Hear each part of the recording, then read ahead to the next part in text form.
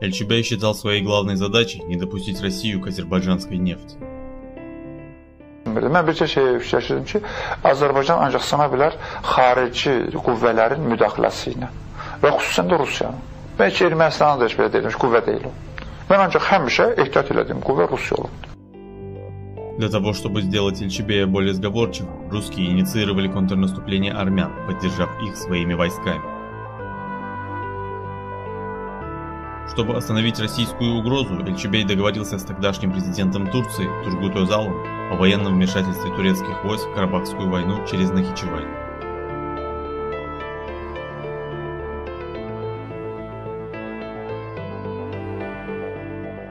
Однако через день после встречи с Эльчебеем Özal'a отравили.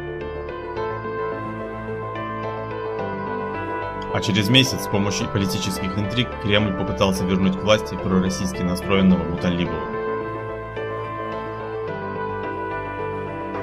Создав угрозу гражданской войны, российские спецслужбы добились отставки Эльчебея.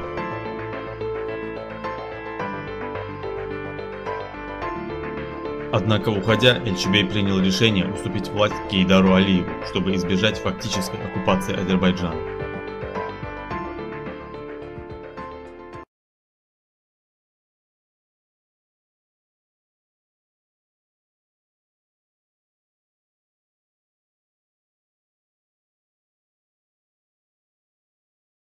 Türkiye'de size en çok hangi lider yardım etti?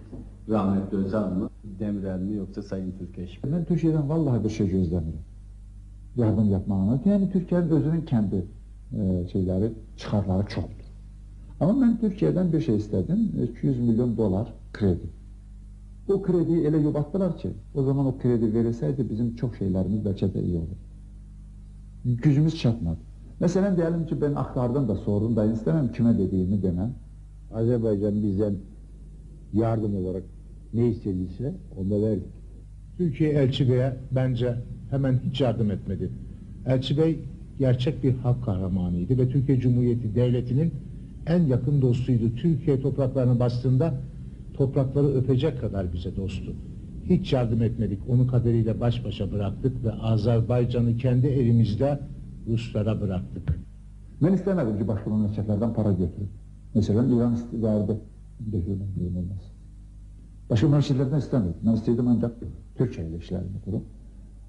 Maalesef bana da geldi ki ben Türkçe'de iyi dərk edilmədim.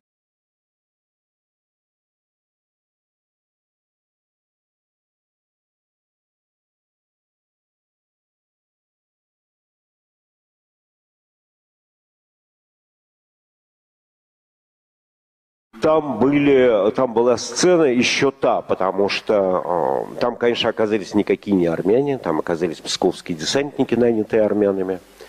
Почему так мощно и удалось выбить э, азербайджанцев из ущелья?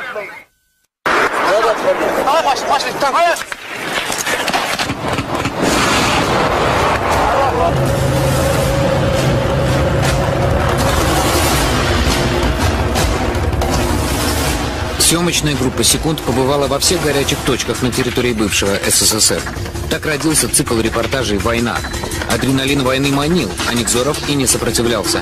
Он приезжал на передовую, вставал под ружье, жил вместе с бойцами. Он изучал феномен войны изнутри и сам не заметил, как стал главным действующим лицом своих репортажей. Как дела? Хреново? Плохо. Чем плохо? Да что в окру- в окружение попали. Кто в окружение попал? Батальон. Там? Нет, наш батальон. Уже все отступали, уже по обочинам дороги лежали только трупы раненые, умирающие. Я вдруг увидел человека, его звали Визир, а, азербайджанец, который вдруг сел в УАЗик, завел его и сквозь э, толпы отступающих поехал собирать раненых. Машина туда! Сколько там раненых визит? Я не знаю, много, наверное.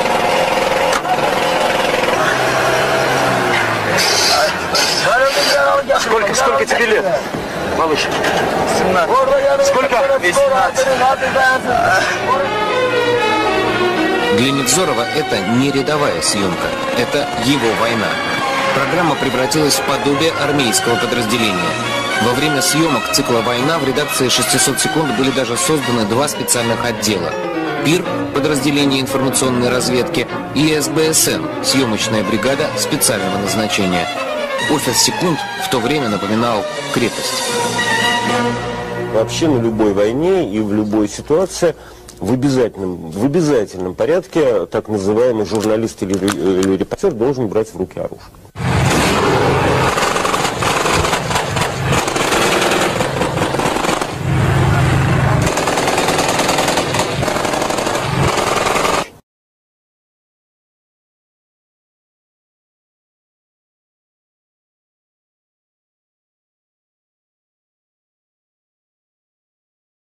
И легко находили их среди бывших офицеров, брошенных на произвол судьбы.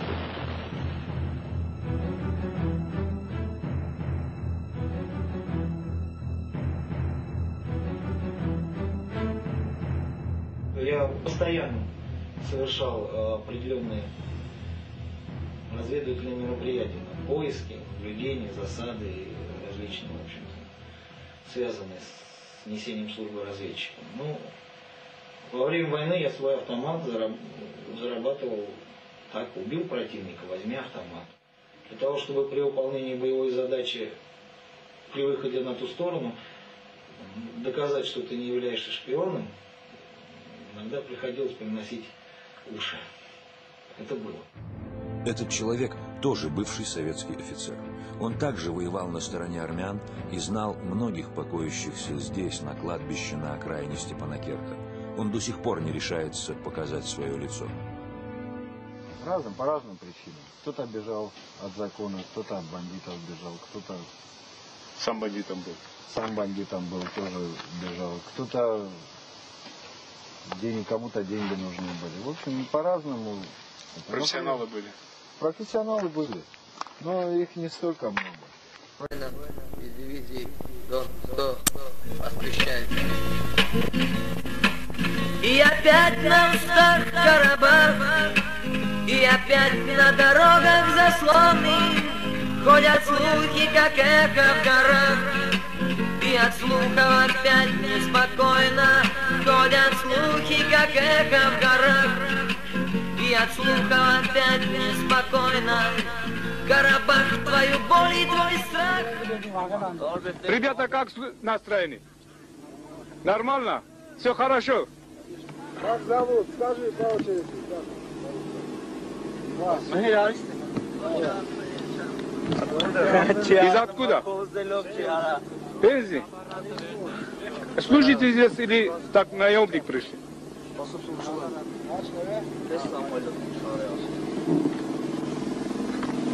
А почему не поехали в сторону азербайджанской воевать?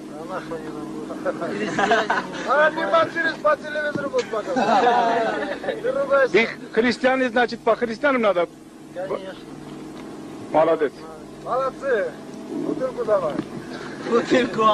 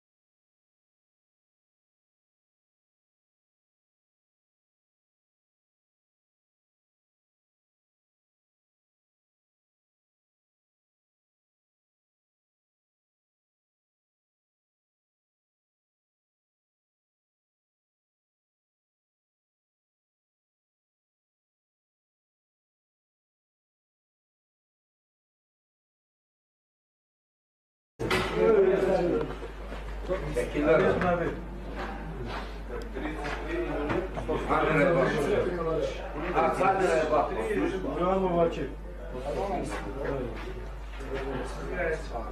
Еще построили.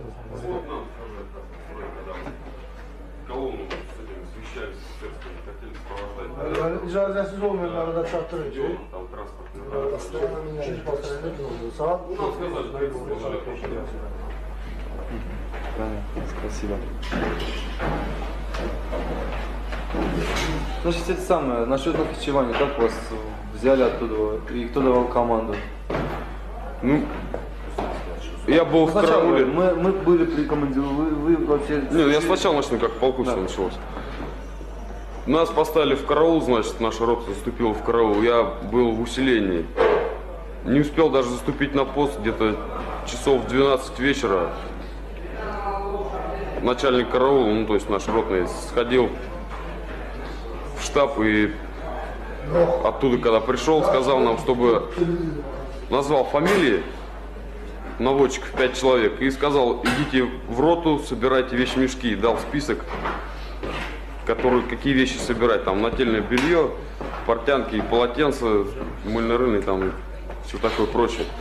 Мы пришли в роту, значит, собрали это ночью срочно. На утро нам сказали выйти на построение тех, кого перечислили. А Спал- перечислили кого? Наводчиков операторов. БМП? БМП, да, БМП-2. Все? С роты у нас где-то два, сейчас посчитаю, восемь человек с роты с нашей было. Ну и послали куда? На построение вышли, нам сказали, вы в скором времени убудете в командировку, возможно, в Гинджу, для выполнения задач. Где-то на месяц, на полтора. И так где-то тянулось неделю где-то или пять дней, точно не помню. Каждый день собирали на построение утром после обеда и говорили, что с Гинджи еще борт не пришел, ну самолет, чтобы вас забрать туда. Потом где-то после утреннего построения как-то раз на плац пришли три маш... две машины, нас погрузили туда, разделили на две группы и отвезли в Нахичеванский аэропорт. Там на Ан-24 борт 51, кажется, гинжинского отряда, я не знаю. Нас привезли в Гинжу. Там мы пробыли на аэродроме где-то часа три. И нас отправили в мотострелковую дивизию, там в Гинже есть. Там мы переночевали, и на утро нам майор, сопровождающий наш, с полка с нашего, сказал, что мы летим в Степанакерт. На трех вертолетах нас отправили в Степанакерт, распределили по ротам, а там уже в ротах сказали, что вы тут останетесь служить. Вас обманули, это не командировка, а останетесь тут постоянно служить. Вот так. Понятно. А вот вы, когда вот вы убегали из части, э, не опасно это было? Нормально, можно спокойно уйти из части? Этот этап связан с риском для жизни. Выход из счастья, вот, Степанакерт. В каком смысле? Ну, если армянские боевики поймают ночью, то могут и застрелить. А днем просто схватят, отправят в полк обратно. А были ли такие случаи, когда они заставляли ваших ребят служить на этой стороне? Как рассказывали, были случаи. Отправляли свой, у них там, не знаю, батальон или тоже полк стоит, или бригада. Сказали, годик тут послужите у нас, потом мы вас отправим в Ереван и домой. По этому поводу у меня есть добавить. Я второй раз это убежал. Первый раз меня поймали армянские боевики на посту, на своем. И хотели отправить именно в свой полк, сказали, вы у нас послужите, а потом мы отправим вас домой. Ну тут просто успели наши, наша БМП там была, перехватили нас. А так бы мы попали к армянам, к, им- к им в полк. Они сказали, мы вас в свою часть не будем отправлять, будете у нас там. При каких обстоятельствах вы попали в плен? Когда началось наступление азербайджанских частей, очень успешное наступление, армянские боевики стали отходить. Меня тоже предупредили, что, мол, надо отходить, уходить. Я им сказал, хорошо, вы бегите, я сейчас оденусь, догоню. Ну что, они ушли, ну, перед этим мне оставили, говорят, у тебя оружия нет. Оставили на подоконнике мне две гранаты Эвки и одну гранату РГД. Ну и побежали. Я вскочил, оделся. Гранаты так и бросил на подоконнике. Схватил трехлитровую банку с самогонкой. Убежал в пустой домик. Но если вдруг они захотят возвратиться, меня обратно звать, чтобы просто не нашли. Потому что это реальная возможность появилась сдаться в плен. Уйти, не воевать. Потому что я понял бессмысленность этой войны.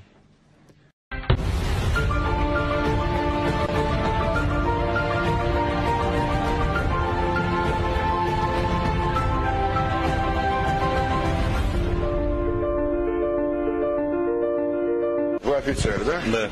Значит, вы пошли воевать фактически из-за того, чтобы заработать деньги, да? Фактически получается так. А ваше командование знало, командование роты, армии, что вы воюете? Что я воюю? Да. Нет. Ну а как же, вы ушли с счастья, взяли с собой оружие, все необходимое, никто ничего не знал? Нет, почему? К счастью, мы ничего не брали, ни оружия нет. Это нам сюда дали Степанакерте. А в части не спросили, где вы? Вы же не уволены из армии. Куда мы пошли? Да. Меня нет. Я в ней не служу ни с какого времени. Я с 17 августа в Степанакерте и 11 сентября. 11 ну как вы сентября. с Армении попали в Степанакерт? Ну вот машина шла с Еревана, там, в Палачинском коридоре Степанакер. Все, и меня взяли просто. Просто взяли или вы сами? Ну, я сели? сам сел, в смысле... И вот эти вот ребята тоже вместе с вами? Ну вот эти ребята как раз ехали на этой машине, и как раз вот на этой Вы машине... сейчас одной роты? Да. И все поехали зарабатывать деньги, да? Убивая людей. Я могу сейчас отвечать только за себя. Ну, вы-то... Ну, отвечать, когда они под вашим командой. нет, почему я поехал? Я А они виду- как очутились в вашей машине? С одной роты специально, все сели в одну машину. Нет, они ехали уже на этой машине. Ну, они ехали отдельным заданием, вы вас посадили, досадили и вместе исполняли. Ну не совсем так. Они возвращались с Еревана, они... Извините, еще один вопрос. Скажите, а много вот э, таких, как вы, сражаются э, в Нагорном Карабахе на стороне Армении? Ну, Насчет количества точно я не могу цифру какую-то назвать, но я знаю, что есть, а много-немного я... И все они военнослужащие седьмой армии? Нет, почему? Есть и военнослужащие седьмой армии, а есть как вот э, авантюристы, которые приезжают там с разных мест России, которые воевать просто за... А вы себя в данном случае как офицером считаете или как авантюристом? Авантюрист. Ваше и службу, ну, ваше отношение к армянской армии. Вы говорите, что вы там служите армии. Ну, дело в том, что контракт я никакой с ними не заключал. Просто в Степанакерте получил задание, вот время на подготовку, готовились, готовил я группу, все, пошли на задание, с которой не вернулись. То есть как таковое, что я нанялся к ним на службу, то есть, ну, получилось из-за денег, а служить, проходить службу у них я не проходил. То есть контакт я там имел только чисто тоже с, чисто вот с начальником комитета обороны, которые ну, через него все делали, ну, поставляли нам оружие, экипировку и задания. И жили мы просто на территории там пионерского лагеря, в котором сейчас там, ну, так, типа, стоит типа взвода охраны или что-то в этом роде. Считал э,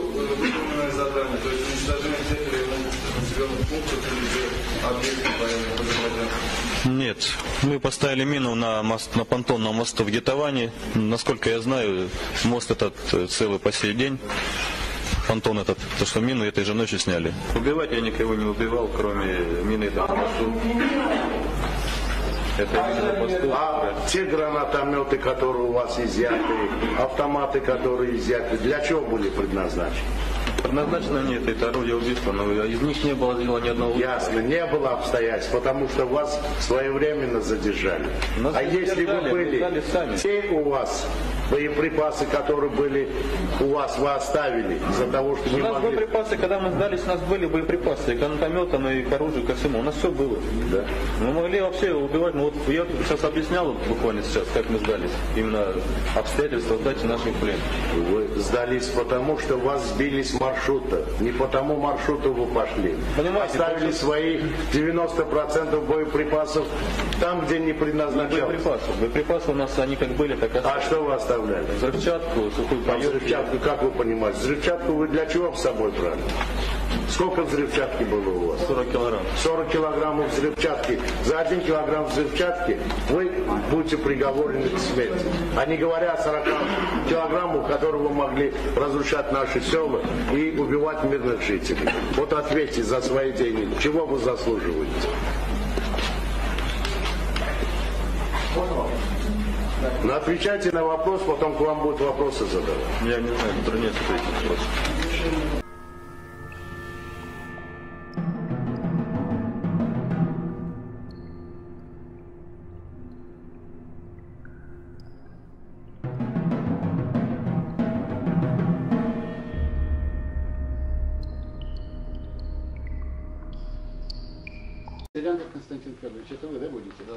Расскажите, пожалуйста, как все это происходило. 9 ноября вечером я вышел в город, чтобы купить ну, закуски как, и что-нибудь. Так как были праздники, надо было отметить, и у нас как раз была суббота. Думали собраться так выпить. Я вышел, все это купил, ну, уже возвращался в часть уже где-то поздно вечером, уже где-то ближе к 10 часам. И когда уже подходил до части, мне попросили помочь вытащить машину. Машина попала, колесо в люк попал.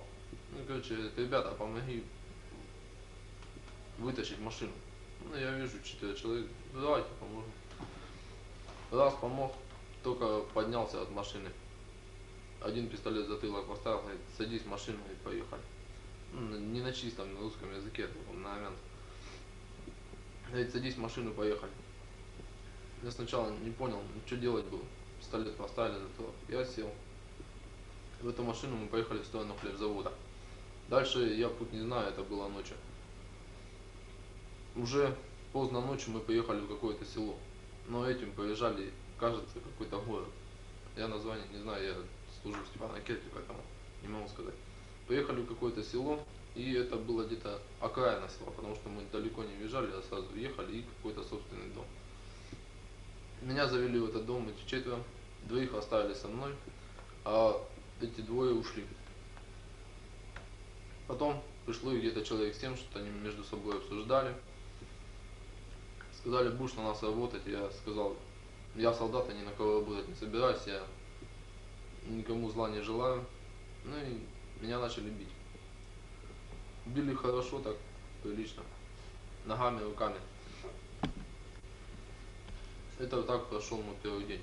Потом меня держали в этом заточении где-то месяц. В течение месяца мне давали, ну, есть там еда, ну, кусок серого хлеба, там, ну, пшеница не перем... ну такая полностью пшеница э, перемолотая, там, с опилками еще молота. Давали хлеб такой, вода и так, капуста там маринованная или какая. Там иногда картошки так жареные давали и все. В общем, кормили. это, Но не били. Или били? Потом еще вследствие били, потому что мне надо было написать записку. Говорят, тебя одного нельзя пустить на дело, потому что тебе не поверят, что, что ты один солдат. Давай, говорит, нам нужен еще твой дух. Я тут начал опять отказываться. Ну и опять пошло то же, что и было в начале. Опять били. Так я извиняюсь, вы должны были написать записку кому? В воинскую часть или Ему должен был написать записку. ему? Да. А вы знали, что он тоже задержан или он в воинской части? Вот разъясните, пожалуйста. вот Я ничего самую не знал. Ничего Мне- не знали? Мне сказали, ты должен взять еще с собой своего друга. Так. что давай. Или ты пулю получишь в лоб, или соглашайся. Ну, тут начал. Опять били хорошо, так конкретно. Делать было нечего, выхода не было. Пришлось написать записку. О том, что Леха приезжает, все нормально, ну, как в раю живем тут. Что ты там будешь служить там? И все. Это было где-то 15 дней назад, 16, записку написал. И потом опять началось, опять же так же. В этом доме сидеть, никуда не выпускали. Они сменялись, по двое сидели и ночью выпускали только в туалет. Днем вообще никого не выпускали, чтобы ни- никто Так не даже вас не пускали и в туалет? Меня только ночью выпускали. Только ночью. Так дальше. Сказали терпи и все. Будешь ходить только ночью в туалет. Дальше они повезли Алексея. Повезли они его в понедельник, в этот понедельник это было. Какое число? Ну, в этот понедельник, что было. В декабре, да? Да, 9 декабря повезли его. Потом нас, нам кинули нашу форму старую. Нашей формы новой уже не было, они нам какую-то старую. Вот, говорит, ребята, стирайте давайте, гладьтесь, все, вычищайтесь, вы солдаты, говорит. Завтра, говорит, пойдете, говорит, на дело. На какое дело мы не расспросили. Ну, постирали, все, погладились, все чистое, оделись. Утром, рано утром мы выехали на массе с этого села. Поехали по асфальтированной дороге, ну, кругом лесополосы, ничего жилого не видно. Потом завернули на какую-то дорогу такую каменистую. там вышли и пошли по полям. Где-то шли минут 30 по полям и дошли до села Армянска, так как они там назывались Чабаном. Там какой-то Чабан пас овец со своим сыном. И вдали еще какой-то мужчина ходил. Больше людей там никого не было видно. А название села вы знали, в какое село вы прибыли? Нет, мы не знали, Так, нам ну, ничего не говорили вообще. Так. Поехали они что-то с Чабаном называли, потом отвели нас, прошли где-то мы полкилометра, говорят, ребята, впереди азербайджанское село. Вы должны в него войти, узнать, есть там ОМОНовцы или нет, сколько там вообще человек, кто работает там на ферме, там, или если можно угнать стадо или взять шабана в заложники там, или убить кого-нибудь. В случае опасности, короче, вызывайте всех. Нам дали гранаты отдельно, запалы отдельно гранаты. Вот эти гранаты, да? Да. Вот эти гранаты, которые они дали вам. Только они дали их отдельно. Как отдельно? Покажите. Вот запал. Выкручиваешь. Не надо закручивать. Не надо, не надо, не надо. Вот. Выкручивается запал. Так. Занат. Дается вот так. Две гранаты, два запала. Все. Так. Я его должен положить в карман и идти. Говорят, если обернетесь, получите пулю в лоб. И никаких лишних движений. То есть не вздумайте кидать гранаты по нам. Так. Ну, мы пошли. Их было шесть человек, они были вооружены автоматы и шмайсеры. Такие маленькие автоматы. Чисто так. Ну, как. Мы отошли до этого села, прошли. Начали подходить, где-то пошли мы километр, пока дошли до этого стада. Сначала Чабан по нам стрелял. ну, Сначала кричим, стой, куда ты стреляешь. Уж ничего не стреляю. Ну, ребята, что вам надо? Мы поесть там. И что-нибудь взять с собой. Они нам дали деньги на 300 рублей. Вот эти деньги, которые Да. они дали вам, да? 300 рублей. Я прошу оператора, чтобы он показал. Вот на эти 300 рублей вы должны были купить себе закуску, еду, да? Да, да, да. Всё. То есть, что вы подумали, что, И мы, часики ваши? что мы голодные солдаты. Нет, они тоже дали часы, чтобы мы знали время, когда они до скольки нас ждут. И сколько вам дали времени? Нам дали времени до 5 часов. До 5 часов. А в случае, если бы вы не вернулись. что они бы сделали? Они сказали, ждем до 5 часов, мы уходим. А дальше вы остаетесь на произвол судьбы. Короче, ваш. Так. Вам все равно придется вернуться в какое-то армянское село, и вас же сдадут или нам, или воинскую часть. Штык-нож воинский? Да, штык Ваш? нож воинский. Нет, не наш, они тоже дали штык нож. Это тоже, да, их Да. так что то, что они дали. Только нас- один нож дали? Вам? нас не было ничего, один только нож. Только один нож. Так. Сказали, у вас должно быть оружие, чтобы вы были похожи на солдат. Мгм. Иначе не поверят, что вы солдат. Автоматы мы вам не дадим, иначе не хотим, чтобы было хуже нам, а хуже вам. Когда мы зашли в это село, мы уже там поговорили с этим чабаном. Все, они нас пригласили на ферму. Мы сели, поели. Я лег лежал, а Алексей сидел, разговаривал с этим чабаном. С чабаном азербайджанцем, да? Да. Ну, короче, нам, мы сидели уже, поняли, он говорит, здесь ОМОНовцы. Ну, сидели уже, ждали, когда нас возьмут просто-напросто. Потому что, если нам нужен был бы заложник, мы взяли этого чабана сразу правильно. Там километр пробежаться с ним, и все. Правильно? Верно. Мы просто сразу взяли. Тем более у него мелкашка, а у нас штык-нож и граната. Тем более он парень молодой, 16 лет всего лишь, а нам уже по 19. Так Ну, я извиняюсь, значит, каково было ваше внутреннее ощущение и вот именно э, ну, с какими мыслями вышли в это азербайджанское село?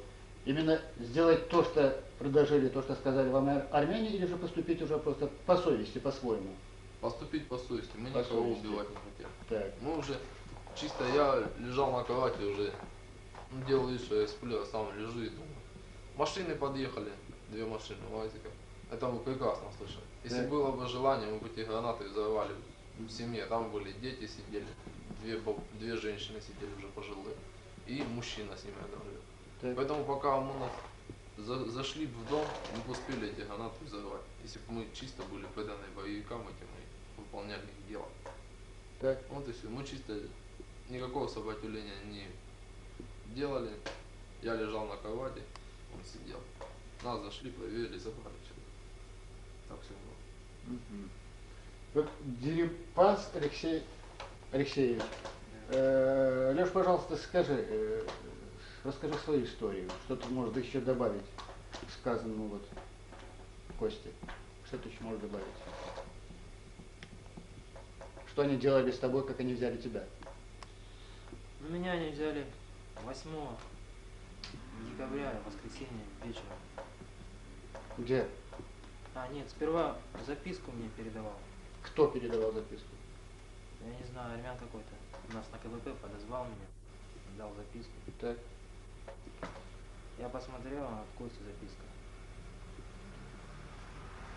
Но я никуда не пошел, они там вызывали по какому-то адресу, я не пошел. Потом вечером вышел из части. Подъехала машина, так внезапно даже. Она подъехала к части прямо? Да, прямо возле части. Так. Внезапно так кинули туда тоже. Четыре человека их было. И увезли. Насильно? Да. Просто затолкали в машину и везли? Да. Так? Ну, в Степанакерте где-то еще день был. Сутки. А потом завязали глаза и вывезли уже. Привезли уже вот в эту деревню. Где был Костя. А ты знаешь, что это за деревня, как она называется? Нет. Нет. Это где-то в округе Степанакерта? Я не знаю, нет, долго везли. Долго. Да. Мгм.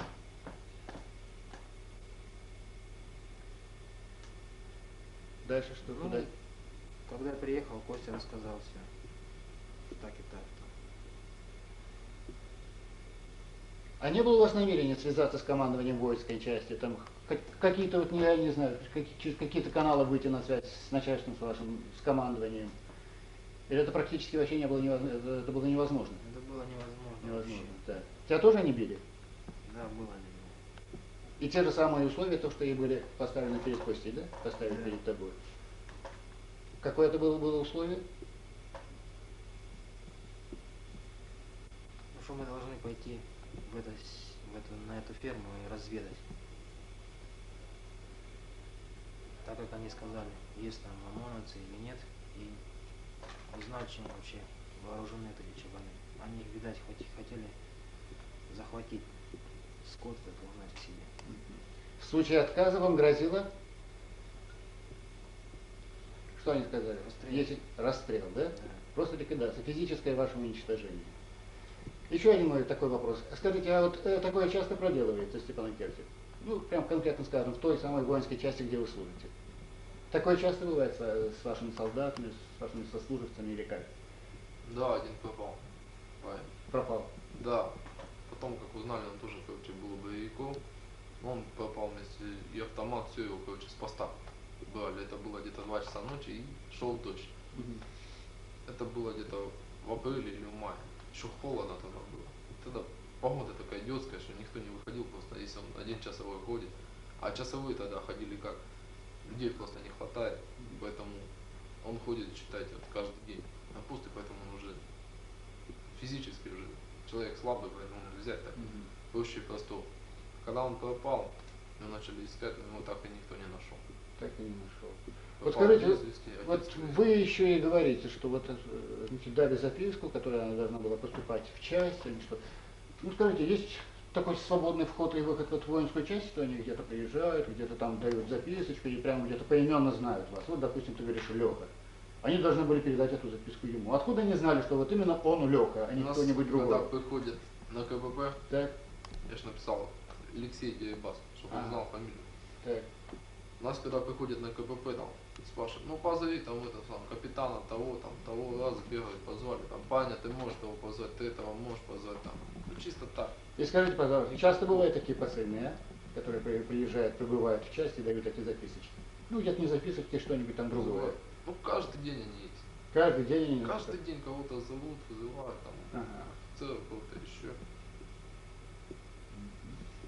Ну, что бы хотели где-то... Постоянно каждый день они находятся возле ворот этой части, там развод идет, они, а, позовите того, да не видишь, развод идет, там, ждут там, короче, там. И вот еще у вот такой, такой вполне такой э, чисто какой-то свой человеческий вопрос. Скажите, вот вы побывали у армян, они вас держали, да? Вы попали в Азербайджан. кстати, вот в это отделение, татарское отделение милиции РУВД. Где-то вы видели и ту сторону, вы видели и эту сторону. Вот скажите, пожалуйста, есть какое-то вот различие между этими э, двумя вот э, сторонами, армянским и азербайджанским? Как держали вас там и какое отношение было к вам вот здесь, в этом отделении? Есть какое-то различие? Здесь тоже вас... А? Есть? Есть. Пожалуйста. Там нас били, плохо кормили, а здесь нам все по-человечески отнеслись, все есть хорошо, белый хлеб, пожалуйста. Все, что мы, как говорится, едим, едите и вы. Нас не считали ни за бандитов, ни за кого. Мы переспали, все нормально, никто нам ничего не сказал. плохого. Никаких насилий, никаких, Ничего не никаких ничего такого не было, да? И под конец, вот что вы хотели еще сказать? Ну, ваше обращение, может быть, к солдатам из воинской части, может быть, даже тем, которые служат. Ну, к тем, которым, может быть, даже грозит то, что где-то удостоили они вас. Так, еще что я хотел у вас спросить. Значит, вы говорите, что вас где-то они взяли месяц тому назад. Да. За этот месяц никто не интересовался вашей судьбой? Я не знаю, я находился в комнате, поэтому что творилось в кругом, я даже не знал. Но я, может, знал, что меня искали, но долго не могли искать, потому что у нас долго не ищут. У нас ищут до Ахдама и все. И все. дальше. Дальше человек или он дома, или он пропал, или где он все. Но это дело где-то как чисто, чисто какое-то это дело того человека, который пропал, да, как говорится. И, Да. просто списывает, да, на нет, и все. Был человек, и его не стало. Кто его искать будет, кто им будет заниматься, это никого не волнует. Ну. Это чисто проблемы твоих родителей, как говорится, пускай родители тебя ищут. Где ты пропал, может ты сбежал, а если тебя забрали, то тебя никто искать не будет. Потому что солдаты так толку там мало, поэтому тем более чем-то заниматься. Скажите, пожалуйста, если бы вас заново вернули в эту часть воинскую, вы вернулись? Нет. Не хотите, да? А ты? Кось? Можно? Да? Ты вернулся? Да. Опять на службу? Да. Мгм. Служить Отечеству, верой и правдой? Или? Да, служить Отечеству. Служить Отечеству. Но отечество не здесь. Не здесь. Потому, потому что здесь, не здесь моя родина. Моя родина дома. Вот мой дом Краснодарский. Пожалуйста, там я готов служить, там я знаю, что это моя земля. А здесь я попал, как говорится, между ножницами. Между солдат. Ножницы это два они друг друга не порежут, да, режут то, что попадается между ними. Ну вот и будучи дома, что ты будешь рассказывать? То, что ты видел? На самом Да. деле, то, что было? То, что было на самом деле. То, что было. А страшно? Конечно, страшно. Льется кровь? В 19 лет погибнуть хочется. Еще не увидишь жизни. Ну, всего вам доброго, ребята. Я вам желаю, чтобы все это было где-то где-то в итоговом, чтобы оно не повторилось, чтобы с вами все было нормально, все хорошо. Все доброго. Может быть, и у вас есть еще какие-то, я не знаю, чисто какие-то душевные э, вопросы, которые вы хотите бы задать нам, или какое-то обращение. Если есть, пожалуйста, эфир в вашем распоряжении. Почему солдаты должны служить вот здесь, на территории НКВ? Ведь я уже говорил, что если они на стороне армян, они будут, значит, против ОМОНовцев. Так? Так получится. Если мы будем на стороне ОМОНовцев, мы будем против. То Но есть почему вот у вас именно, нет. я извиняюсь, почему у вас именно такое мнение, что вот на стороне ОМОН? ОМОН как таковой нет. Есть сотрудники, рядовые сотрудники милиции, тоже внутренние наши войска. Вот милиция есть. Какой ОМОН? Здесь же в округе ОМОНа нет. А вот сейчас все, все именно и бьют на то, что ОМОН, ОМОН, ОМОН. Это, по-моему, тоже какая-то армянская истерика, армянская подоплека, это ОМОН. Здесь же практически ОМОНа нет. Здесь есть вот товарищи вот, из внутренних э, дел э, района, которые тоже вот защищают свою землю, верно? Да. Так что здесь никакого такого ОМОНа, по-моему, Они не защищают надо. свою землю, а мы не Да. знаем, что мы А вы не защищаем. знаете, что защищаете вы. Ну, короче, как игрушка. Кидаем туда, кидаем сюда. Ты солдат, твои два года, где пойдут? И сколько долго вам еще осталось там служить? Еще год остался. Еще Меньше да. года. А какое сейчас настроение вот в массах, той самой воинской части, вы служите? Какое настроение солдат? Они тоже думают, так же думаете, как и вы, или они настроены по-другому? У них какой-то другой настрой? Ребята тоже желают служить в России. Чтобы хоть письма с дома получать. Все нормально. Знать, что творится кругом. А не жить здесь два года. отрезанным от общества. Ты не знаешь, что дома творится. Все. Ну хорошо, всего вам доброго. Sualım Tərtər rayonu daxili İşlər Şöbəsi